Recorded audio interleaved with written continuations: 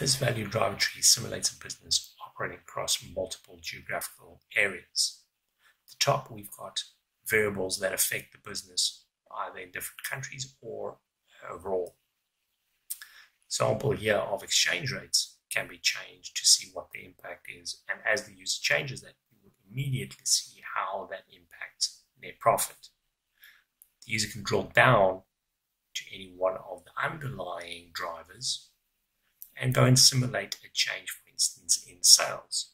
Reduction in 10% in sales will immediately go and affect the value driver tree both up to net profit as well as other items such as cost actually reducing. The reason for that is that the commission percentage is directly linked to the sales value. Commission is calculated as multiplying the sales value by the commission percentage. If we then increased commission percentage, we can see what the impact is of that. But it creates a more complex scenario because there are two different variables affecting commission.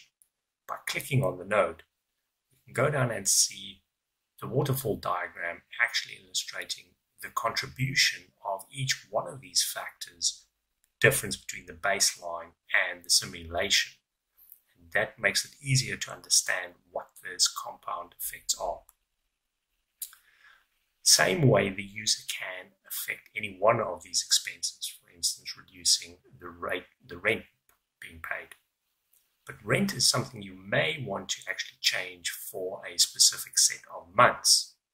In this example, we'll change this to a manual input, which allows us to capture month level values.